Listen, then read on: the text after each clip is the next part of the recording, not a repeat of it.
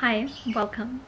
so in this video I'm going to be going through all of the basics about pottery, everything that you need to know before you start because I just get so many questions about pottery and how it works and what is needed and all of those kind of things so I thought I would make a full video explaining everything in one place. If you do have any questions after this video still please feel free to leave them in the comments. To start with we're going to start at the really really beginning which is clay. I'm going to start with the different types of clay because that completely affects the stuff that you make, how it will turn out, the difficulty level, all of those kind of things. You get a variety of different types of clay. You get earthenware, stoneware, porcelain, paper clay, air dry clay, there's quite a few. So these different types of clay has different functionalities and difficulties and will have an overall different look once fired. There are also different subcategories within each type of clay so different colors and like coarseness of the clay. I will give a brief explanation about each one. So to start with, earthenware. Earthenware is a very delicate clay it's used more for decorative items. It's also more porous so it doesn't work well for food or drink items or things that need to be waterproof like a vase. It's more for decorative items and um, the more delicate yeah, pieces. Then you get stoneware. Stoneware is what you use for functional pieces because it is the most durable um, the most the least porous it's a great type of clay to work with, clay to use for dinnerware, um, mugs, bowls, plates, um, and then vases and things like that. So yeah, stoneware is definitely the clay that I would suggest you start with just because there's such a wide variety of things that you can make with it um, and it's a nice clay to work with. Porcelain is a very very fine clay. You can get it very very thin and detailed. But the thing about porcelain it's a very difficult clay to work with um, and it's also very expensive.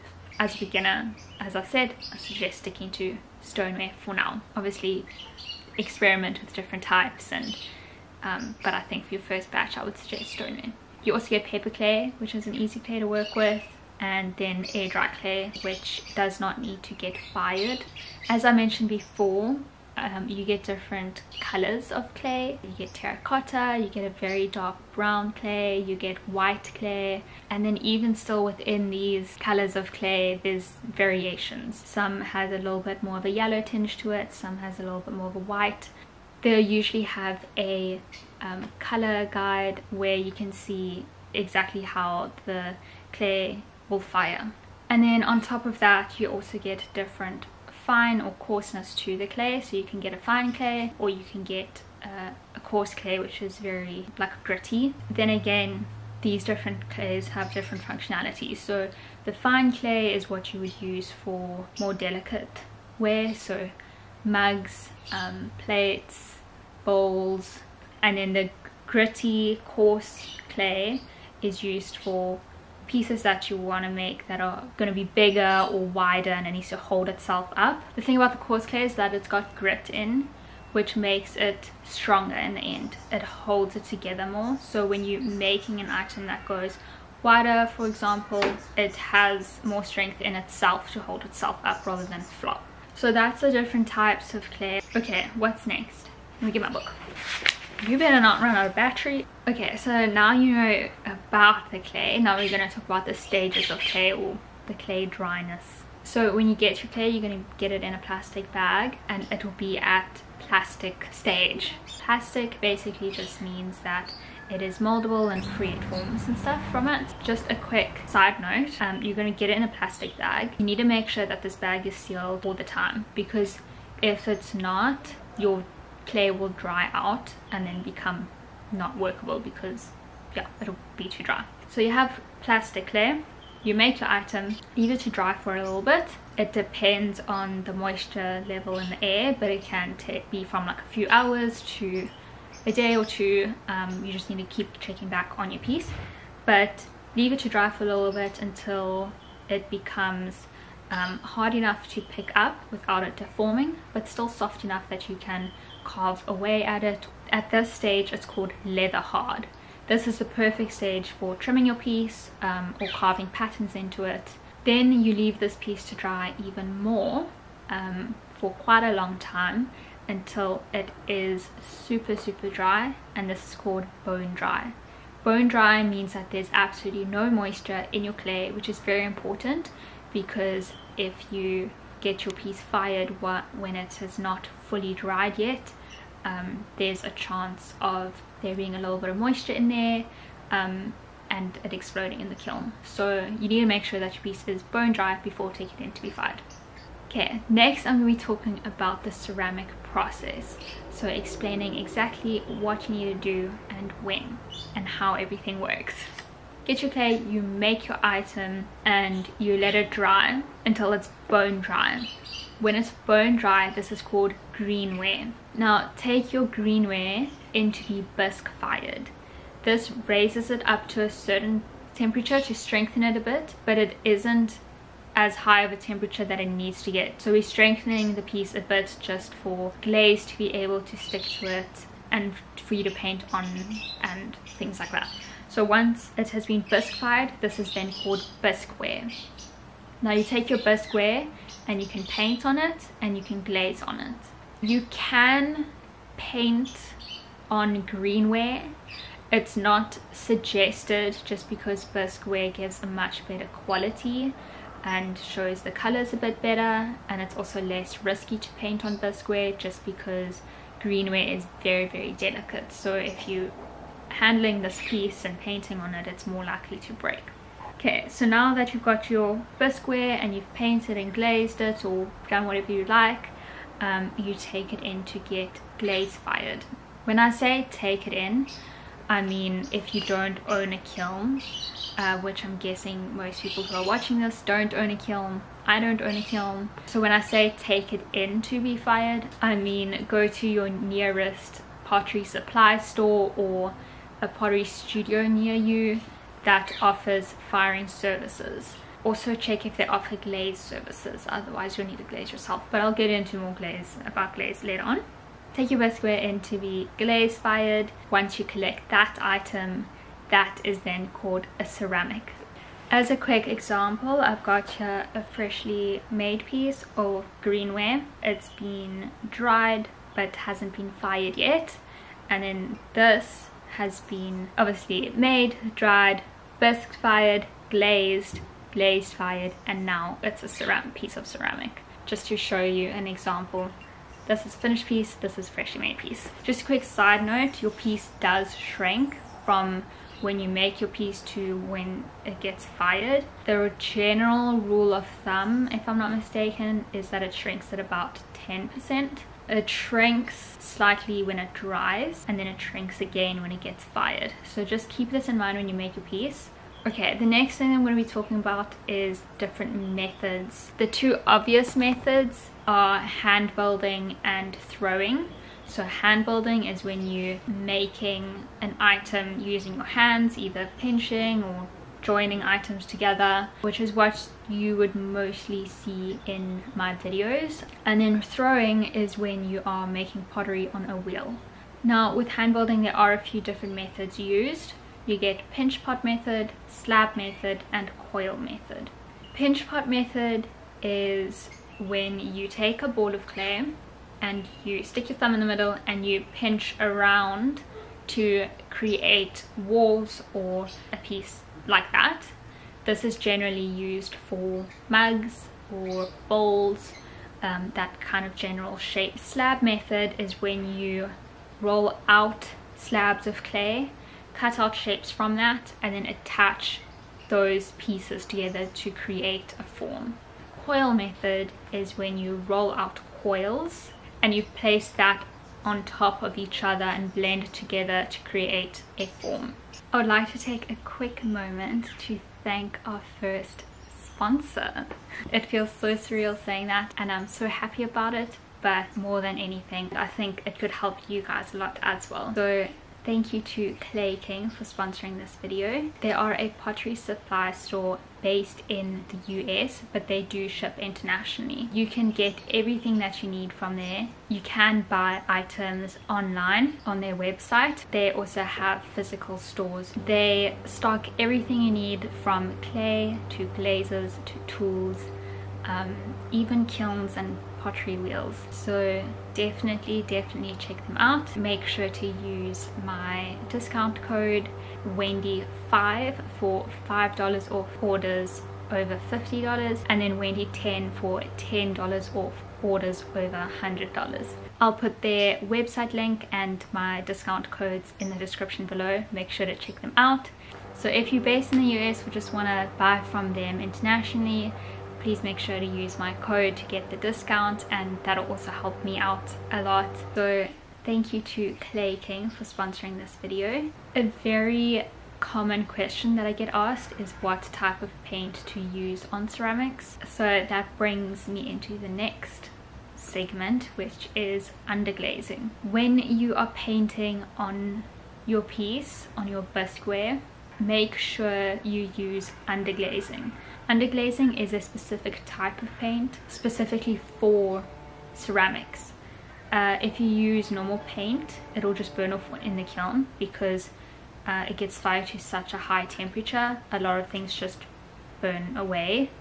Um, so you need to use specific products for ceramics. You can find underglazing at your pottery supply store. It works exactly like normal paint, it's the same consistency and you use a paintbrush to paint it onto your pieces. Make sure to paint about two to three layers if you want a solid color. If you are wanting to see your brush strokes, paint one layer. If you want a more watercolor effect, mix a little bit of water into your underglaze.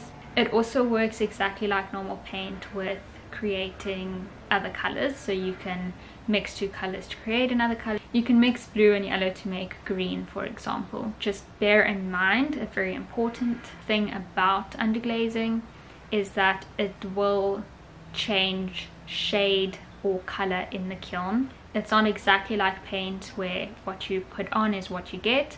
You paint it on once it gets fired it will change shade. So just bear this in mind when you do buy your underglaze and when you mix the underglazes together that what you are seeing is not exactly what you'll be getting out. So it is a tricky thing about the painting side of things. That's where a lot of experimenting comes in and why a lot of people do test tiles. For example, I have some underglaze over here. This looks like quite a brownie mustard kind of yellow, but it turns out a lot more bright in the pottery supply store there should be a color guide where it shows exactly what the color will look like once fired. So when you are choosing color make sure to refer back to the color guide to see exactly what you are buying. So that's underglazes now we're going into glazes. Underglaze and glaze are two very different things. Underglaze is the paint that you use to paint on patterns glaze is the product that you put over your piece to finish it off. Either give it a glossy effect a specific color. You get a lot of different types of glazes. Get a lot of different colors um, different glossiness levels all of those kind of things. Um, but I'll just go over the basics just to show you an example. So the difference between underglaze can see there those flowers painted on is underglaze i painted them on and then it's got a transparent glaze over the whole thing. So once the glaze is put on your whole item and it gets fired it basically melts and sticks to the surface and creates kind of like a glass layer over your whole item which makes it waterproof food safe. If you're using a food safe glaze just keep that in mind. Yeah it just gives it a nice finish you don't have to glaze if you are not using it for a food purpose or needs it to be waterproof and you like the effect of a non-glazed piece that's fine. You still need it to get it glazed fired to the highest temperature that it needs to go. Here's another example of a glazed piece. You get a dip in glaze and then you get a brush on glaze. Dip in glaze is when you have glaze in like a bucket for example and you dip your whole piece in that liquid and it dries onto the surface. Brush on glaze is more of a paint texture where you physically brush on the glaze onto the surface. This is an example of a brush on glaze. You can see in there it's the same as a paint consistency. Again, glaze changes color in the kiln so whatever you buy and whatever you paint on will look different once you get back from being fired. Um, so make sure to look at the color guide to know exactly what it will fire to before you buy. For example, this glaze over here is kind of like a light purple. You can see there.